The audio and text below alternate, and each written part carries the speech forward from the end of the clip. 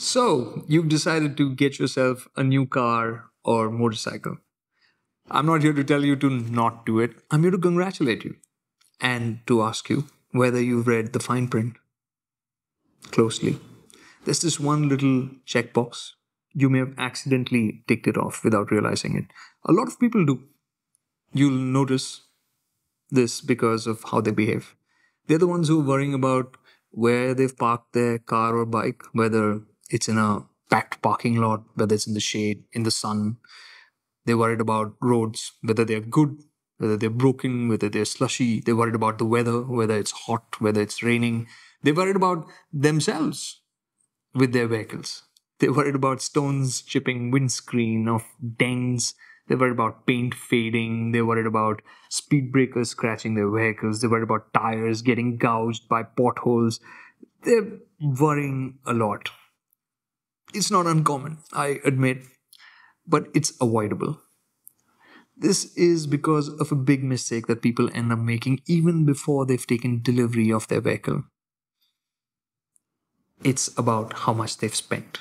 They have overstretched. Now, instead of a vehicle, they're ending up having an investment that needs to be secured, a possession that needs to be protected, something that they want to keep in showroom condition. And in exchange, they're trading up the joys that they wanted to actually acquire. The fun of riding and driving takes a backseat to money, right? So the question is how much should you be spending for your car or bike? There's no straight answer for me to provide to you here. It will vary depending on how much you earn, how old you are, what your needs are, what your dreams are. But I could tell you how I think about it. I would say think of a number that you feel comfortable with, something that's not a stretch and you wouldn't hesitate about spending. And then I'd say spend less. For instance, if you could spend 10 lakh rupees, I would say put aside 20%. This is your motoring fund. This is for everything outside of your on road costs, your warranty costs, your service costs. This is for everything you have dreamt of, everything you want to do as a life with your machine. It's for the trips you want to have, the accessories you want to add, the what if scenarios that you keep worrying about, and consumables. Something that I'm particularly fond of tires, uh, brake pads, oils. At one point for my motorcycles, I had one loft full of tires. I had half few sets from my Duke. I had brand new sets for my Impulse. And I had two sets at one point for the Busa.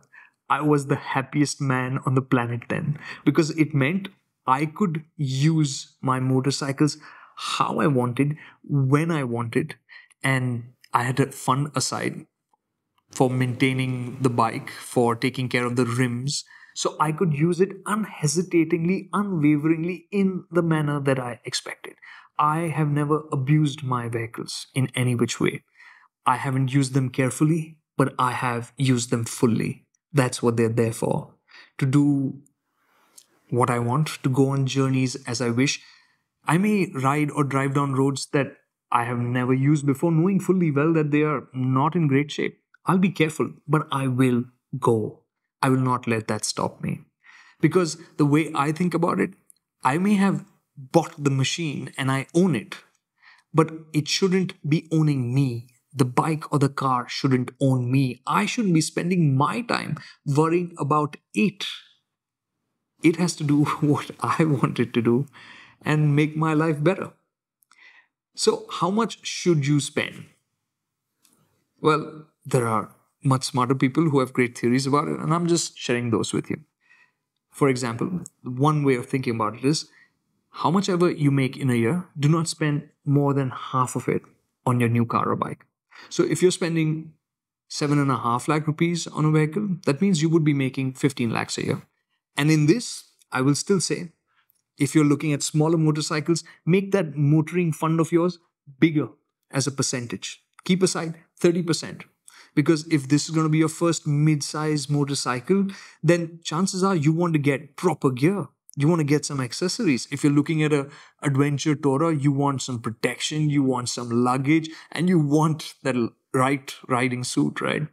Uh, and of course, helmets, gloves, everything you wanted. And when it comes to a car, I think a lot of people want to protect the paint. So whether it's going for ceramic, whether it's going for PPF, whether it's getting alloy wheels or better tires, I mean, keep this fund aside and it will just pay you back huge dividends in terms of how you enjoy without overspending, without stretching yourself. And it will make life much easier, even for your next purchase. Now, the second way of thinking about it is the 20 4 rule. This is in terms of EMIs. So 20 is percentage, 20% of your um, annual income. Sorry, 20%. I got that wrong. It's finance, right? 20% of the car or bike's on road price should be your down payment. Right. I got that right now. 10% should be the EMI cost in your monthly income. So if you make a lakh of rupees in a month, your EMI should not be more than 10,000 rupees and your loan should not be more than four years long. If you do the math, you'll realize that this might be a bit of a buzzkill and eliminate some options. But I think it's a very prudent way of thinking about it because it's going to let you buy a vehicle which you could easily write off because you've got insurance to help you out in those scenarios. You've got warranties. So it will not pinch no matter what happens to the vehicle. And that sense of freedom is an incredible joy where you do not run around circles of your vehicle. You just use it and enjoy it. You take care of it, but you are in focus, not the vehicle. If you choose to take care of it, and you should, that's awesome. You don't have to worry about it all the time. That's the big thing. Now, the budget should always keep in mind what your needs are. For instance, you might be wanting to do a golden quadrilateral drive or go up to the mountains. So your budget can go up or down. And like we said, for smaller motorcycles, the percentage can be more because you might want to spend on things which are greater in proportion to the cost of the motorcycle itself. For instance, one of my friends at one point joked, I used to have a Dainese uh, one piece leather suit, I used to have an Arai helmet, and I used to be riding a Duke, which at that point was 2 lakh rupees. So he used to he used to tell me, Your riding gear costs more than the motorcycle that you're riding.